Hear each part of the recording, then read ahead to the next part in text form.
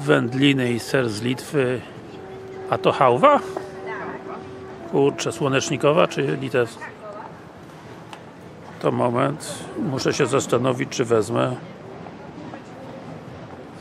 Tak wyglądają wędliny z Litwy i inne przysmaki.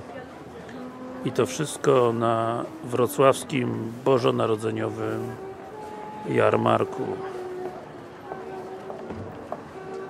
miał rację Mickiewicz Litwo ojczyzno moja dobra, dajcie jeszcze kawałek tej hałwy kawałek dobrego chleba i i wytłumaczenie dla żony, czemu wydałem tutaj tyle pieniędzy. No ten kawałek jakiś, o, daj pan. Jak szaleć to szaleć to. Pyszności nie na co dzień. Tak panie, tylko jak umrę z 5 lat wcześniej z przejedzenia to będzie na pana. Dobra, w każdym razie to się jutro kończy, tak? Nie, w poniedziałek. W poniedziałek się kończy. To może was dzisiaj puszczę na ten.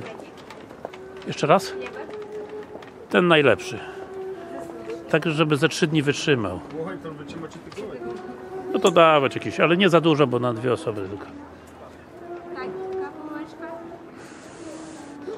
Kurde, mniejszy może. Znaczy może ten mniejszy, bo po prostu yy, nie dam rady zjeść tyle.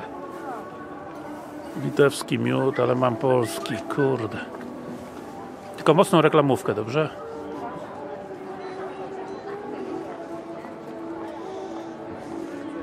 Dobra, jedyne co możesz zrobić to po prostu odwiedzić stoisko litewskie na wrocławskim bożonarodzeniowym rynku ale to już chyba w roku 2015